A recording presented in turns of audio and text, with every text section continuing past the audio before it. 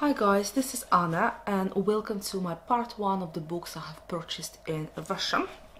All of the books I have purchased in Russia are in Russian language, obviously.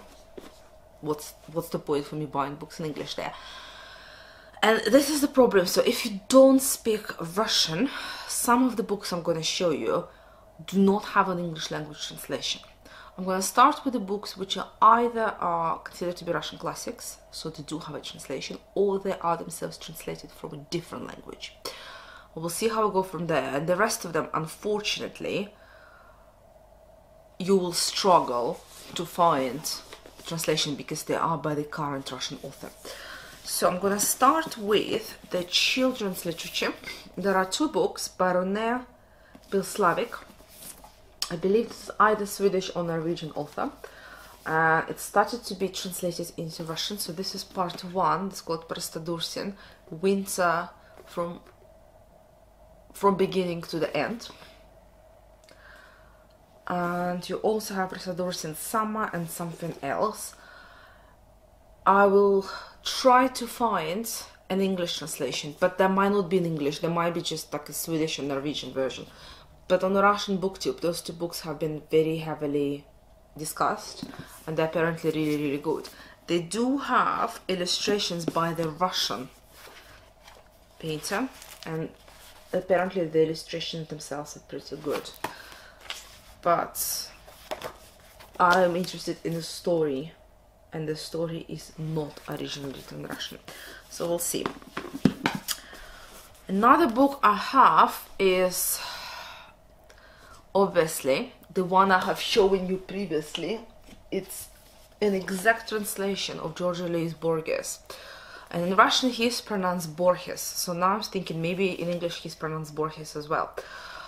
And this is exactly the same book as I have in English, the Aleph, and you must say like, why the heck, Anna, do you need it in both languages? Well, because it's translated from Spanish, there might be some minute details, and if I can, I tend to go for two versions of translation and I will read them in both at the same time. So like I will read the story in English and at the same time I will read the story in Russian and see how the translation compare to each other because I might be able to pick up bits and bobs from both since obviously I cannot read it in the original language it's been published in.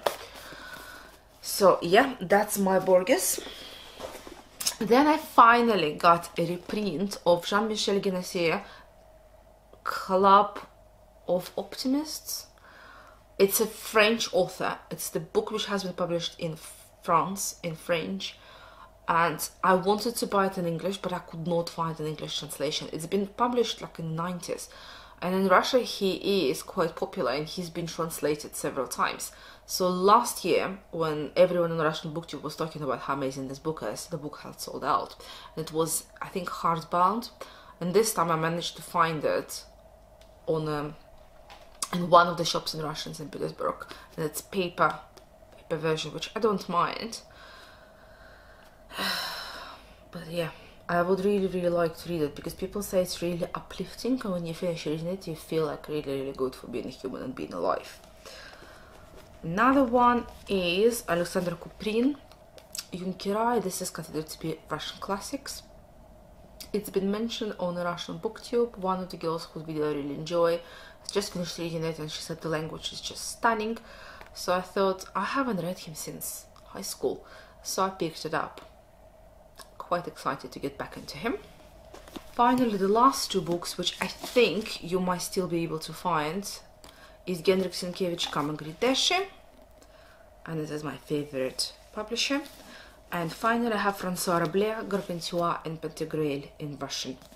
So yeah, that's it. The rest of them are books which have not been translated into English and I don't think there is a point showing them. So what I will do is I will record all this in Russian and if you would like to see books which have not been translated, you can watch my Russian version of the video because it might just be really boring for you guys.